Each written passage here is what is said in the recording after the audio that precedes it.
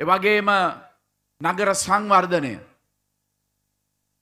අපි එදා කොළඹ නගරය ආසියාවේ සීග්‍රෙන්ම වර්ධනය වන නගරය බවට පත් කළා.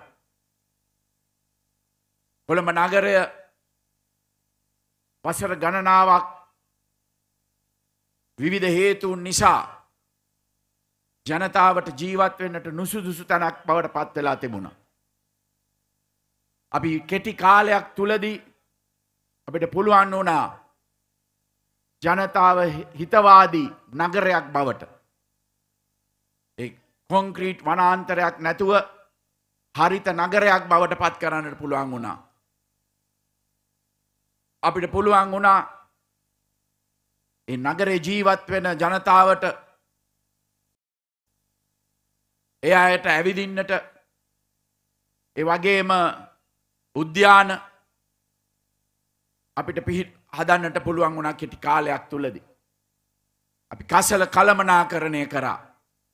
පිරිසුදු නගරයක් බවට පත් කළා. මතකයි දවස්වල සුළු වැස්සකදී පවා ගංවතුර ගලන ගලනවා කොළඹ නගරේ. අපිට පුළුවන් වුණා වේරස්ස ගඟ ව්‍යාපෘතිය බේරේ ගැල ව්‍යාපෘති යටතේ ගංවතුර පාලනය කරන්නට. මේ වගේ අපි හොඳ කළමනාකරණයක් කල්ලා එවගේම විශාල ආයෝජකයන් ප්‍රමාණයක් අපි අපේ රටට ගේන්නට කොළඹ නගරයට ගේන්නට පුළුවන් වුණා. අද තමුන් වහන්සේලා ගෝල්ෆේස් පිට්ටනියට ගිහිල්ල බැලුවොත් ඒ දකින ව්‍යාපෘති සියල්ලක්ම අපි අය ආයෝජන සියල්ලක්ම මේ රට ගෙනාවේ අපේ රජය යටතේ. අපි එදා ආයෝජකයන්ට සුදුසු පරිසරයක් මේ රට තුළ ඇති කළා. එවගේමයි තමුන් වහන්සේලා දන්නවා ගාල්ලේ නගරය. නාගරික සංවර්ධන අධිකාරිය යටතේ අපිට ලෝක බැංකුවෙන් ගත්ත ණයක් හරහා අපි සංවර්ධනය කරන්න පටන් ගත්තා. මුන්නාසලා දන්නවා කොටුව ඇතුළ විශාල සංවර්ධනයක් අපි ඇති කරා. වගේම මුහුදු තීරය අසල අපි ආරම්භ කරා. එවගේම ඇල වල් සංරක්ෂණය කරන්නට පටන් ගත්තා නමුත් මේ රජය තවමත් කාර්යව අවසාන කරේ නෑ. නමුත් අපේ රජයක් යටතේ නැවතත් ගාලු නගරය ආසියාවේම තවත් ඉක්මනින්ම සීග්‍රයෙන්ම දියුණුවන නගරයක් බවට පත් කල්ලා සංචාරකයන් ආකර්ෂණය කරන දේශය මෙන්ම විදේශය සංචාරකයන් ආරක් ආකර්ෂණය කරන තමුන් වහන්සේලාට ව්‍යාපාර අවස්ථා ඇති කරන වගේම රැකයා බිහි කරන නගරයක් බවට ගාල්ල නගරය පත් කරනවයි කියන පොරොන්දුවමන් තමුන් වහන්සේලාට ලබා දෙනවා. වගේම මේ ගාල්ල නගරේ ගාල දිස්ත්‍රික්කේ ඉන්න බුද්ධිමත් තරුණ තරුණයන්. මම අපේ රජයක් යටතේ අධ්‍යාපනය වෙනුවෙන් විශාල ආයෝජනයක් මුල් අවුරුද්ධ ඉඳලම කරනවා. විශ්වවිද්‍යාලවලට විශේෂෙන්ම අද ලක්ෂ දෙකක් පමණ තරුණයන් උසස් පෙළ සමත් වෙනවා එන් තිස්දාහක් පමණයි විශ්වවිද්‍යාල අධ්‍යාපනය ලබන්නේ. මේක සතුටු දායක දෙයක් නෙවෙයි. අපි දක්ෂ තරුණයන්ට අපි අවස්ථාව දෙන්නට ඕනේ විශ්වවිද්‍යාල අධ්‍යාපනය ලබා ගන්නට. අපි පොරොන්දු වෙනවා මේ උසස් පෙළ සමත්වෙන සියලුම ශිෂ්‍යයන්ට උසස් අධ්‍යාපනය ලබා ගන්නට අවස්ථාවක් සලසනවයි කියන කාරණය. අපි දා දැනට තියෙන විශ්වවිද්‍යාල ධාරිතාව වැඩි කල්ලා ආචාර්යවරුන් වැඩි කල්ලා අලුත් විශ්වවිද්‍යාල ඇති කල්ලා දුරස්ථ අධ්‍යාපනය දියුණු කල්ලා පමණක් නෙවෙයි කලාන්සයෙන් අධ්‍යාපනය ලබන ශිෂ්‍ය ශිෂාවන්ට පවා තොරතුරු තාක්ෂණය කොම්පියුට තාක්ෂණය පිළිබඳව දැනුවක් ලබා දෙන්නට අපි ක්‍රියා කරනවයි කියන එකත් මේ අවස්ථාවද මතක් කරන්නට ඕනේ.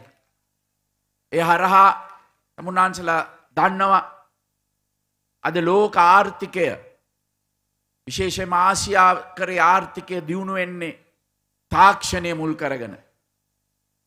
විශේෂෙන්ම තොරතුරු තාක්ෂණය පරිගණක තාක්ෂණය යටතේ තා විශාල ප්‍රමාණයක් අවස්ථාවන් විවසායකයන්ට නව විවසායකයන්ට එවගේම රැකියාවන් කරන්නට විශාල අවස්ථාවන් ඇති වෙලා තිබෙනවා.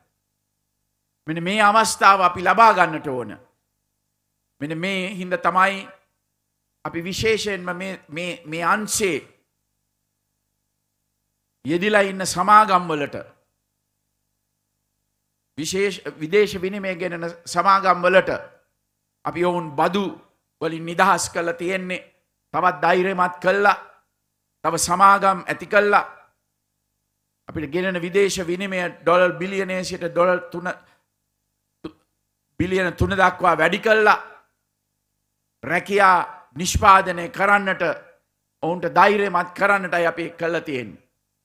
එනිසා අපි තරුණ තරුණයන් එයාගේ නිපුනත්වය වැඩි කරන්නට උන්ගේ දක්ෂතාවයන් වැඩි කරන්නට අපි විශාල ආයෝජනයක් අධ්‍යාපන වෙනුවෙන් කරන්නට අපි තීරණය කළ තියෙන්.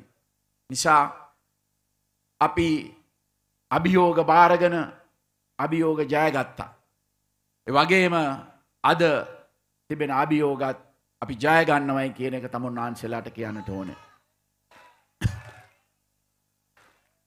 තමුන්නාන්සේලා මා කෙරෙහි විශ්වාසය තියන්න.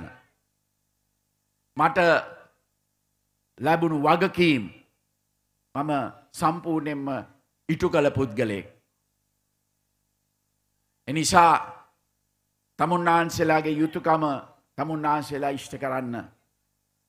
මගේ යුතුකම සුරක්ෂිත රටක් සෞභාග්‍යමත් රටක් අභිමානවත් දේශයක් තමුන්නාන්සේලාට ලබා දෙනවයි කියන ප්‍රතිඥාව දෙමින් අක්මිවන ජනතාවට ජයවේවා මව්බිමට ජයවේවා පොහොට්ටුවට ජයවේවායි ප්‍රාථනය කරමින් ඔබ සමට සුභරාත්‍රයක් වේවායි ප්‍රාථනය කරනවා. ස්තුතියි.